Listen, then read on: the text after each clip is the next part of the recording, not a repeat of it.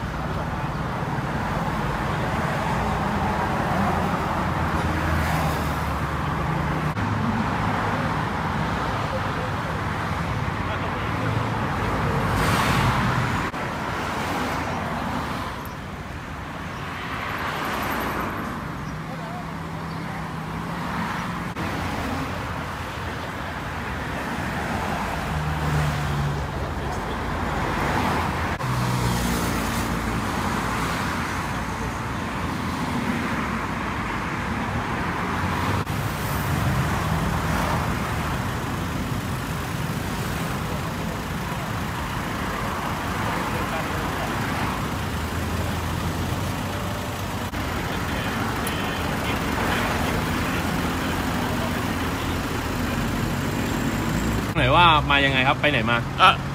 คุณสรุปสักหน่อยไหมอธิบายให้ฟังหน่อยเหตุการณ์มันเป็นไงครับ ก็เท่าที่สอบถามคนขับรถฟอร์จูเนอร์คันนี้ เขาจะขับมุ่งหน้าไปศรีราชา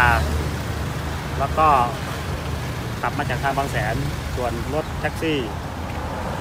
ก็เลี้ยวตัดหน้าเขา แต่ไม่ได้ชนหรอกแต่ว่าทำให้เขาเสียหลักเขาก็เลยหักหลบแท็กซี่ก็เลยมาชนไปเรื่อยเออคนขับนี่เป็นใครยังไงครับเป็นเป็นชาวต่างชาติเขาเป็นญี่ปุ่น ส่วนแท็กซี่ก็เขาบอกว่าเขาไม่เกี่ยวเขาปฏิเสธแล้วเขาก็ไปเลยหนีไปเลยหนีไปเลยไม่ไม่ไม่มีมาคุย ทางนี้เขาก็เลยถ่ายทางต่างชาติเขาก็เลยถ่าย มีกล้องหน้ารถอยู่มีกล้องหน้ารถครับ ก็น่าจะเป็นหลักฐานพอสมควรอยู่แล้วเขาก็ถ่ายอ่าป้ายทะเบียนรถแท็กซี่ไว้แต่ไม่ได้ถ่ายใบขับขี่